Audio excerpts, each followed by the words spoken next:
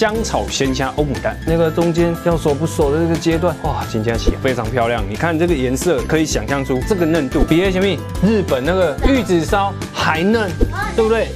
没有，又是那个很棒。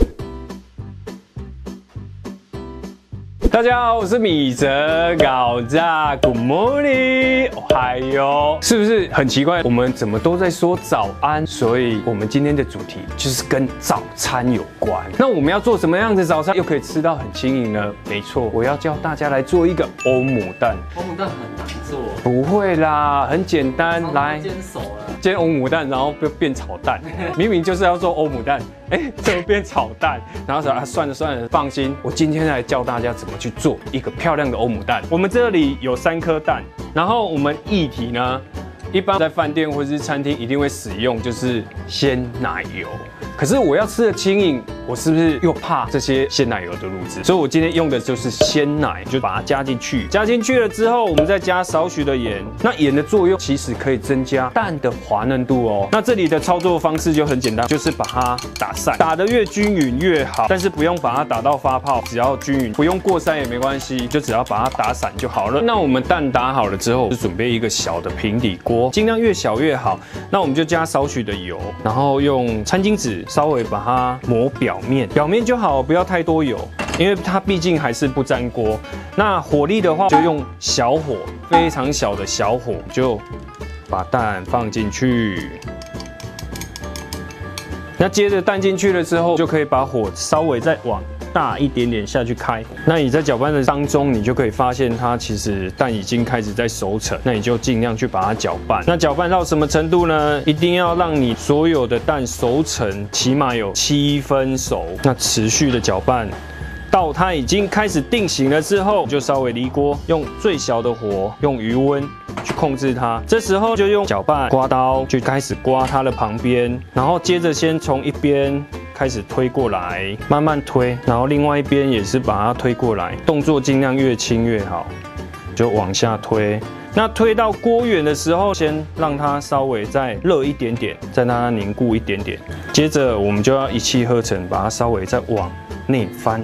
有没有看到它就变成一个橄榄的形状？这时候一样哦，用小火持续让它慢慢的煎，中间让它熟成，因为毕竟还是要吃到全熟，除非你选用的蛋是有机的，或者是那种比较好的，你可以接受吃到半熟。不然如果一般的蛋，我建议还是让它焖到全熟。你可以准备一支叉子或是牙签。去刺你的欧姆蛋看看，看它蛋液会不会再跑出来。如果没有跑出来，蛋就是熟了，这样就可以起锅。我们就来盛盘吧。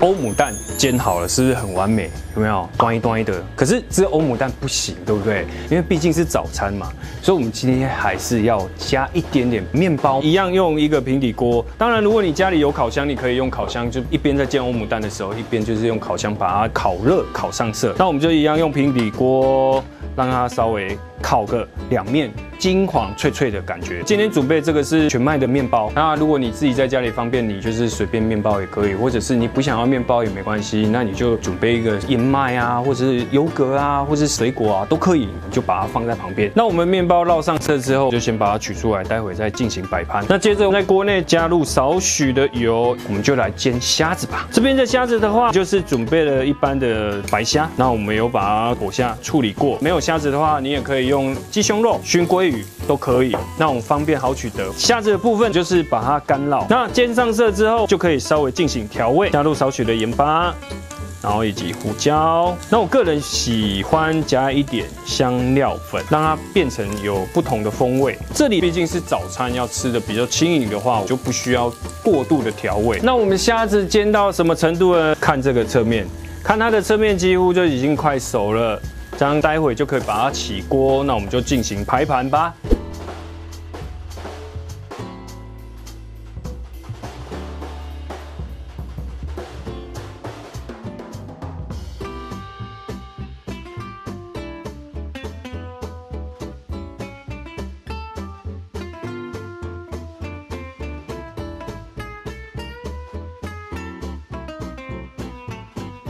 香草鲜虾欧姆蛋完成啦，我们就来进行试吃吧。刚才断面秀哇，真的太漂亮了，漂亮到了，我自己都佩服我自己。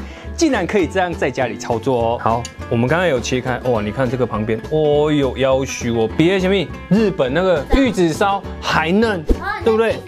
没有，又是那个很棒，尤其是小帮手煎的那个更漂亮。